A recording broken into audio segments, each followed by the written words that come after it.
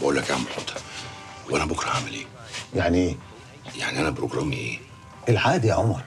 المفروض أنت جاي هنا عشان تقلب رزقك تشوف مصلحة تعملها. تتفسح وتتفرج على شوارع البلد زي أي واحد لسه جاي اتينا لأول مرة. وبعد الظهر تيجي لها على القهوة عنونها سهل. أه سهل سهل طبعا. يلا تصبح على خير. وأنت من أهلي بقول لك والنبي يا عم حوده معلش واحدة يعني لو فيها اساءة ادب مني كنت عايز أغير دول عشان معيش فلوس ومش عايز بقى يضحك عليا وكده. هنا ما فيش حد بيضحك على حد بسعر العملة. السعر واحد عشان ما فيش سوق سودة.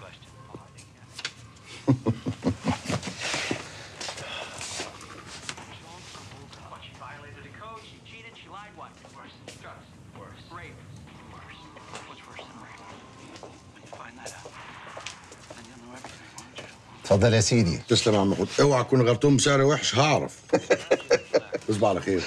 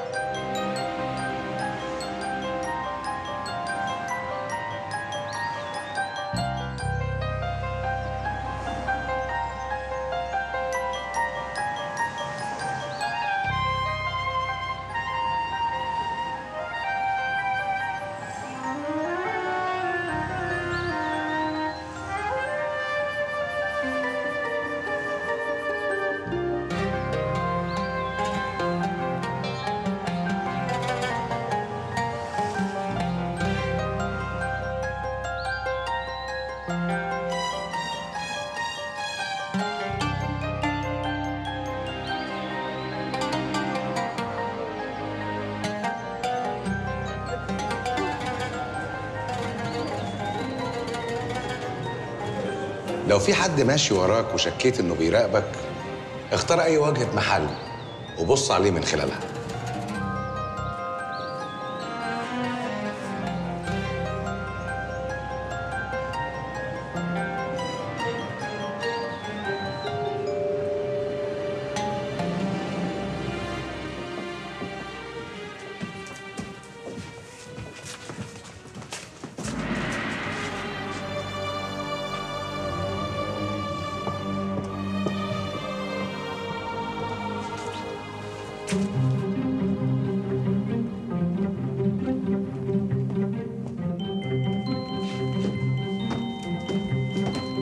ازيك يا ولع؟ حبيبي يا هندسة. طبعا الفل يا حسن. أهلين يا عمر. صباح الفل يا عمر. يا سالم مش تيجي ترحب بالضيف اللي لسه جاي من مصر طازة؟ الله هو وصل بالسلامة. الله ده أنا بقيت مشهور بقى ولا إيه؟ عمر ابن صلاح الدين طه أخويا وحبيبي اللي حكيت لك عنه. سالم. نورت يا وحش. بنورك يا باشا. إيه عجبتك البلد؟ قوي عم حوده. تحس كده ان عتبتها تروع على قلبي. ومش عارف ليه متفائل. حاسس ان هيكون ليا فيها رزق حلو. ده في الأول بس عشان أنت مستجد. بكرة ولا بعده لما تدخل في الجد وتدور على شغل يبقى حالك بالحال سالم وكل الشباب اللي هنا. ليه يا عم حودة وأنا مالي ما أنا زي الفل أهو. فل. أنت عايز يبقى صايع زيك ولا إيه؟ صايع هنا أرحم من صايع في مصر. لا بس عمر ما كانش صايع زيك في مصر. ده فن تركيب كاميرات مراقبة في شركة محترمة عند لواء قد الدنيا. ليه سابق. ليه سابق في الداخلية. دي شغلانة كويسة وزي الفل. إيه اللي خليك تسيبها وتيجي عليا الرزق يحب الخفايه برضه. وبعدين هو مش بيقول لك في السفر سبع فوائد. أنا صراحة ما شفتش منهم ولا فايدة. يا أخي معرفه الناس كنوز. كفاية إن أنت تشوف أهل ولاد بلدك في الغرب. شكلك أول مرة تسافر ها؟ عرفت منين؟ يعني عندك عشم زيادة ولسه ما خدتش على عينيك. يا ظالم ده لسه بيقول بسم الله. طب بالإذن أنا بقى. نورت يا عم عمرو. أشوفك بالليل. إن شاء الله.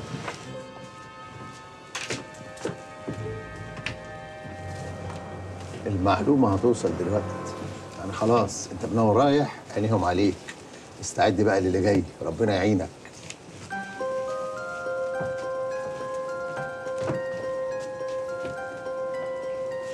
إيه يا سبوبة؟ خد يا معلم. ده كشف فيه أسماء كل العرب اللي شغالين معايا ومخالفين شروط الإقامة. وقدام كل نفر منهم اللي قدرت أعرفه عن ظروفه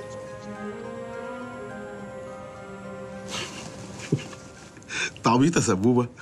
إيه عبيط دي؟ ما تلم نفسك يا جدع. يا عم ما تزعلش بس. أصل الكلام ده عادي يعني. المعلومات دي أنا لو قعدت خمس دقايق مع حد هنا على القهوة هعرفها على طول. ده غير إن معظمها مش مفهوم يا سبوبة خد. ما أنا بصراحة ما عرفتش إزاي أكتب اللي بسمعه دي. ما فهمتهاش. عندك كاسيت؟ تسجيل. آه آه. طب خلاص سجل بصوتك واحكي. أحكي. إيه احكي في المحكي يا سبوبة. في إيه؟ العيال دي اللي يخليها تسيب أهلها وبيوتها وتيجي هنا. ليه مخالفين شروط إقامتهم؟ هنا حالهم عامل إزاي؟ أسامي قرايبهم آه طب وهي أسامي قرايبهم دي هتفيد في إيه في اللي هم عاوزينه؟ عشان يعرفوا يحللوا السبب الرئيسي اللي بيخلي الناس دي تخاطر بحياتها وتسافر وتتمسك وتترحل. سالم أوعى أكون بودي العيال دي في داهيه أوعى أكون بسلمهم ولا مش واخد بالي مش بقول لك عبيط يا سبوبة. قلنا بلاش عبيط دي يا جدع أنت. يا عم خلاص ما تزعلش. بس هم دلوقتي عارفين عنهم كل حاجة. بس هو الموضوع هم عايزين يعرفوا ليه العرب بيخاطروا بنفسهم ويتغربوا. آه ليه؟ هم عايزين يعرفوا يا سبوبة. آه. أنت كده فهمت؟ آه. على الحرام ما فهمت حاجة يا سبوبة. سلام.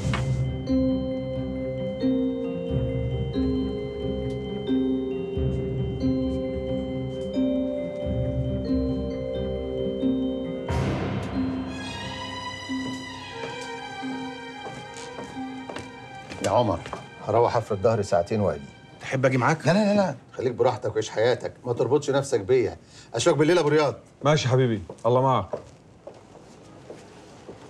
قل لي يا أخي عمر؟ نعم. أنت بتعجبك سياسة البلطجة الأمريكية؟ نعم. من انهيار الاتحاد السوفيتي من ثمان سنين والإدارة الأمريكية طايحة بالعالم وعم يتحرشوا بالدول والعالم واقف مكتوف الإيدين. لا كله إلا التحرش. يا سيدي بيستفزوك وبيتهموك. يا بتدافع عن نفسك وتدخل معهم بعداء مباشر. يا بدك تسكت. وساعتها بيعرفوا إنك ضعيف وبدهم يركبوا على كتافك. موضوع ليه أبعاد.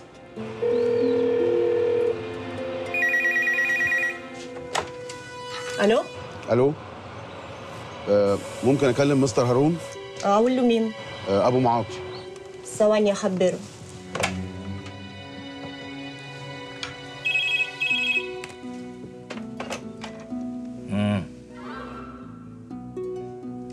أبو معاطي تعبيري أوتولا قفشني أحيري رفاشة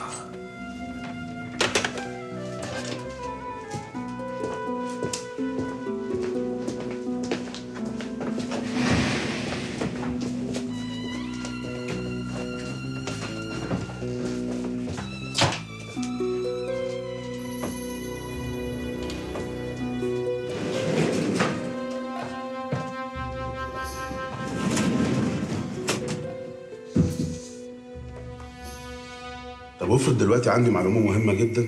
هيدي الحالة إلها رقم خاص. تتصل فيه وبتطلب مستر هارون. ولما يسألوك عن اسمك ما بتعطي اسمك. بتقول لهم أبو معاطي. أبو معاطي. ساعتها بيحولوك لعندي على رقم خاص مأمن. على الرقم المأمن بعطيك موعد. وبالموعد لما نتلاقى تعطيني المعلومة وجه بوجه مش على التليفون.